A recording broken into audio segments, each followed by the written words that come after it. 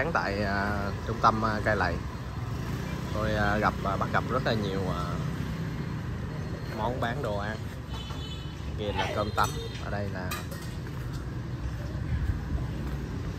bánh bao mặn hả cô có, chay có.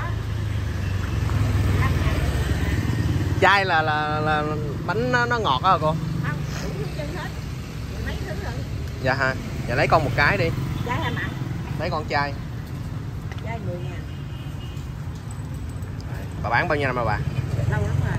quá lâu luôn giờ không còn xác định niên đại ở đây sau cái đoạn này bán chay dữ vậy tâm Ờ, tốt ghê vậy rồi.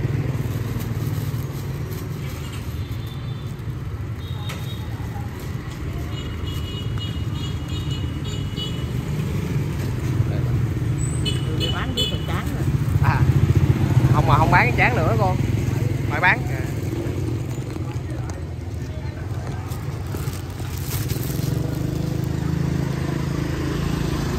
Cô ăn hoài không đã bốc khói lại đã rồi Ờ, ủa cái nào biết nào chai nào mặn không biết chứ, giấy tròn. Không có chấm dấu. à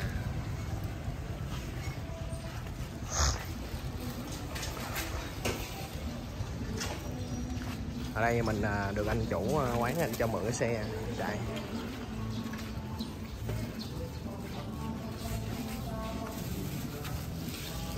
trời quá giờ quá nhiều 25 luôn. ngàn. 25 hả Trời, cô để qua đó cái con, con lấy tiền vậy